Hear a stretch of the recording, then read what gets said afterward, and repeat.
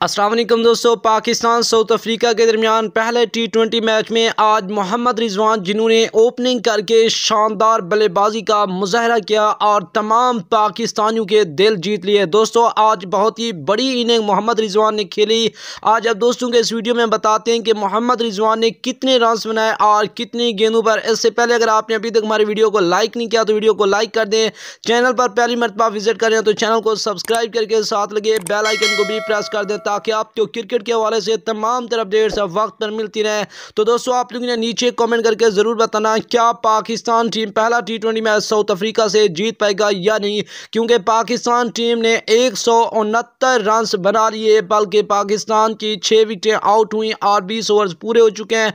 पाकिस्तान ने एक सौ सत्तर रन का टारगेट दे दिया साउथ अफ्रीका की टीम को। और मोहम्मद रिजवान की आज शानदार बल्लेबाजी, जिन्होंने चौंसठ गेंदों पर सात छक्कों और छह चौकों की मदद से 104 रन बनाए और नॉट आउट गए। दोस्तों, पाकिस्तान टीम ने अच्छा टारगेट दे दिया 170 रन का। उम्मीद करते हैं कि पाकिस्तान टीम पहला टी मैच ज़रूर जीते। और मोहम्मद रिजवान की आज शानदार बल्लेबाजी जिन्होंने आज दिल खुश कर दिए दोस्तों, अगर आप भी मोहम्मद रिजवान की बैटिंग से खुश हैं तो मुझे कमेंट करके ज़रूर बताना और पाकिस्तान जिंदाबाद ज़रूर लिख देना। नेक्स्ट वीडियो तक हमें दीजिएगा इजाज़त। अल्लाह ने के पान